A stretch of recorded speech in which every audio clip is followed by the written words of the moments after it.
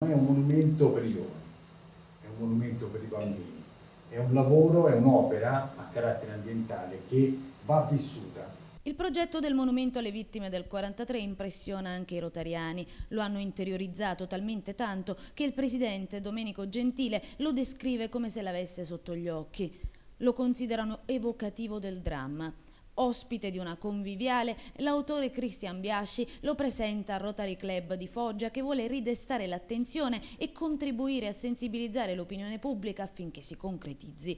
Lo scultore, ultimamente molto quotato a Foggia, è lo stesso della Goccia dell'Avis nella rotatoria degli ospedali, è docente dell'Accademia di Belle Arti, scenografo, ha lavorato con Mario Monicelli, Giorgio Albertazzi e collaboratore stabile di Carla Fracci. Il monumento da lui immaginato è una sorta di giardino pensile, posizionato tra il nuovo terminal e piazza Vittorio Veneto, quella dello sfortunato viaggiatore donato proprio da Rotary. Il materiale, il cemento armato, è suggerito da quello che è accaduto. Foggia è stata schiacciata dal peso delle bombe. Non lo dimenticare mai è la frase che si ripete in tutte le lingue dei paesi che hanno partecipato alla seconda guerra mondiale. La scultura per Cristian Biasci è già di per sé luce, ma questa è illuminata da fasce abbaglianti. Il presidente del Consiglio Comunale Luigi Miranda si complimenta con l'artista, non deve essere stato facile realizzare un'opera che deve graffiare la vista. È arrivato il momento che quelle vittime vengano non soltanto ricordate, ha detto Miranda, perché ricordo indelebile, sebbene l'oblio sia un rischio dietro l'angolo con la scomparsa dei sopravvissuti e il passaggio delle generazioni, ma onorate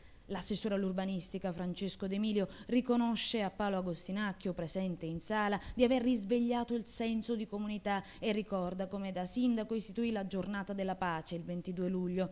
Allora nacque forse quel sentimento che ha condotto all'esigenza di lasciare un segno più tangibile per onorare gli oltre 20.000 morti dei bombardamenti.